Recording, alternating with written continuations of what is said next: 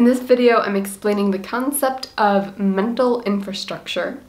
And I think this concept is really useful if you want to think about which technologies will take over, which technologies will develop, and how long it's going to take the population to adopt a new technology. In particular, I think there are some technologies that are brilliant and would be useful and may spread like wildfire if they were introduced in 1930, but right now the population um, has a certain mental infrastructure to it and they're not yet ready to adopt that particular technology. So that's how to think of it, but this video is really just explaining what is mental infrastructure. Alright, so we can make the analogy to physical infrastructure. So get a picture in your head of road systems and sewer systems and subway systems that's all physical infrastructure. And if you want, you can think of digital infrastructure as being the internet and the percent of the population that has access to the internet and the percentage of the population with an email account. All of that stuff could be considered digital infrastructure. So the dictionary definition of infrastructure is the basic physical and organizational structures and facilities needed for the operation of a society or enterprise. And they give us examples, buildings, roads, and power supplies. So one characteristic of infrastructure is the fact that other goods and services are built on top of it. And the building of things and the efficiency of things depends on that infrastructure. So what is mental infrastructure? Well, mental infrastructure is just going to be the common understanding that people have of something. And oftentimes this is a common understanding about how to interact with a system. So one example would be the layout of a keyboard. The fact that everybody kind of learns to type on a specific type of keyboard means that um, you can have a computer system anywhere in the world and people can just come up and start typing on it. They don't have to learn the new way of typing using a different organization of the keys. Another example is calling 911.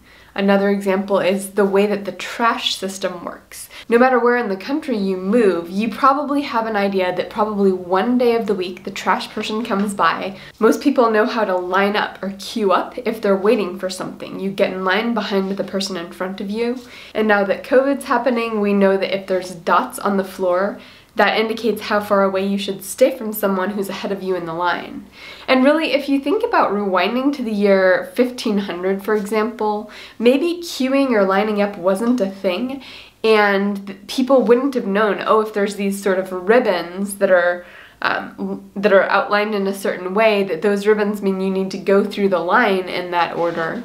Um, they might have seen the, the sort of line up ribbons and have no idea what those meant or how to interact with those. So the common knowledge about how to interact with a system, how to interact with a bureaucratic system or with a corporation, that understanding makes it much more efficient for us to interact with the world we live in. Other examples of mental infrastructure, we kind of know that when there's certain signs in front of bathroom doors, it's either male or female. When people see a revolving door, they know how to interact with it. All of these things, if you were to rewind to the 15th century, people might not have necessarily known how to interact with our buildings and our streets and our system as it is today, but because this is somewhat unified across the world in terms of how we handle city building, it makes people's interaction with cities much more efficient.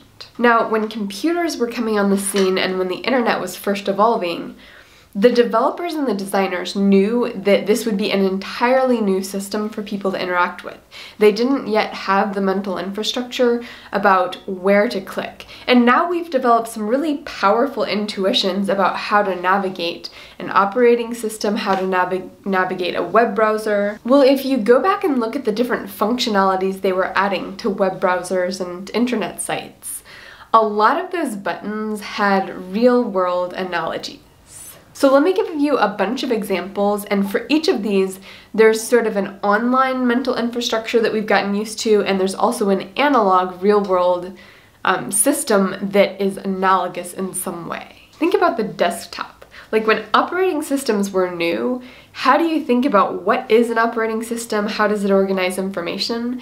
And the fact that we had a clear picture in our, in our head of what are our desktops like and the fact that it's easy to grab things that we use a lot, that was a really useful analogy. The trash bin, the fact that we don't need to keep files all the time, we can get rid of them. The fact that they introduced the internet with the idea of surfing the web gave people a sense for the way to interact with the information. It's sort of a huge amount of information, and you're just sort of surfing on top of it, going back and forth. You have the freedom to just sort of touch a little here, touch a little there, and that it was very directive in terms of how to interact with the internet. Web address, the fact that we have real addresses for businesses and addresses for homes, meant that web address and email address were very intuitive. The fact that icons for files really did show a manila file that people used for their filing cabinets for years, that was really helpful in, in, orienting people about how do I organize information when I'm first learning to use a computer. Having those real world analogies meant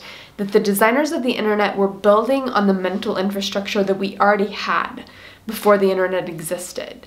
And it, it still took us a while to sort of get used to what is an efficient way of browsing the web, what are some good habits. And so by say 2005, people had developed a very intuitive sense of how to interact with the internet. At that point, we had a really strong internet mental infrastructure, but social media was just coming on the scene, and it had to develop its own mental infrastructure, which it did also through analogies to mental infrastructures that existed before social media. So introducing the thumbs up that was a very intuitive thing as a way of validating someone. The upvote. People understood what a vote was and that it had some impact on the outcome. News feed. What does it mean that it's feeding you this information?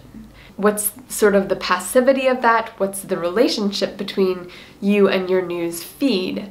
Well, it's personalized, it's given to you, it's meant to be edifying. Now we can uh, we can debate that looking back, but Certainly, the mental infrastructure that social media firms used to help us figure out how to interact with them. That was an important part of the process. And in some ways, the early social media sites were building this infrastructure that made way for more complex types of social media that have evolved over the years. What does it mean to become a follower? And you really do get a mental image of like, the fans following their their favorite band around, almost this groupie image. Ooh, groupie. That would be a good uh, mental image for social media companies in the future to use. Hmm.